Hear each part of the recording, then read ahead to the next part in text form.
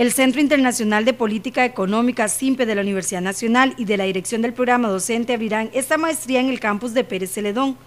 El proceso de admisión ya se encuentra abierto para iniciar lecciones en septiembre de este año. Con el fin de motivar a la población, el 13 de agosto se brindará una charla, así como la recepción de las solicitudes de ingreso y documentación. Dentro de los requisitos está el bachillerato o licenciatura en disciplinas afines, tres años de experiencia laboral demostrable, dominio del idioma inglés y otros. Si usted está interesado puede comunicarse al número telefónico 2562 4418.